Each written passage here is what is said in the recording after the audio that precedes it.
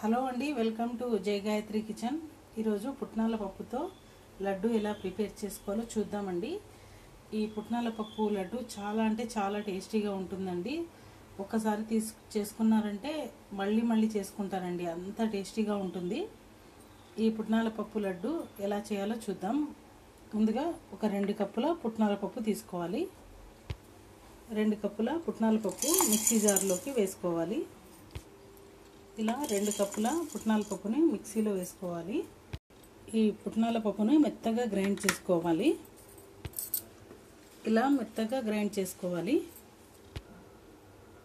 ఇలా గ్రైండ్ చేసుకున్న పుట్నాల పప్పుని ఒక మిక్సింగ్ బౌల్లోకి వేసుకోవాలి.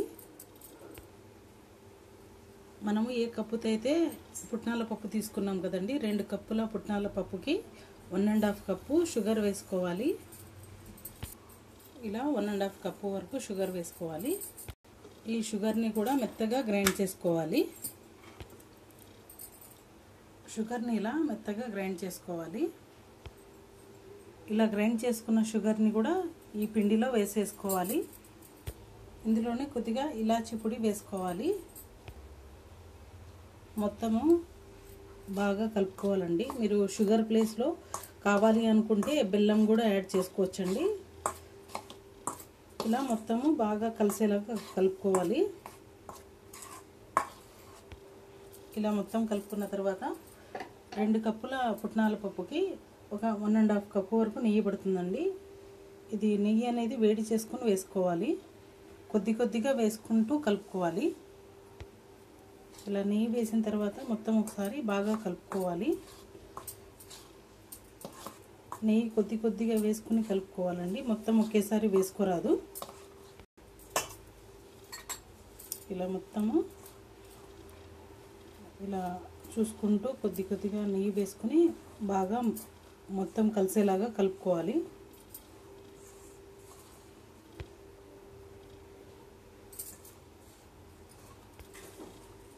ఇలా మొత్తము బాగా కలుపుకోవాలి. రెండు కప్పుల పుట్నాల పప్పుకి వన్ అండ్ హాఫ్ కప్పు వరకు నెయ్యి పడుతుంది.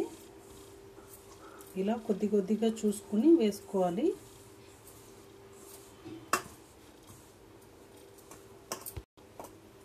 చూడండి ఇలా లడ్డూలు చేసేసుకోవాలి.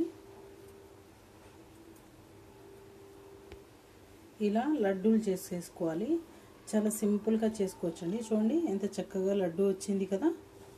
ఇలాగే అన్ని లడ్డూలు చేసుకోవాలి. ఇలాగే అన్ని లడ్డూలు చేసుకోవాలి. చూడండి చాలా సింపుల్గా ఒక ఫైవ్ టెన్ మినిట్స్లోనే ఈ లడ్డూలు ప్రిపేర్ చేసుకోవచ్చు. చాలా సింపుల్ అండి. చాలా టేస్టీగా ఉంటాయండి. త్వరగా చేసుకోవచ్చు. కానీ టేస్ట్ అయితే సూపర్గా వస్తు ఉంటుంది.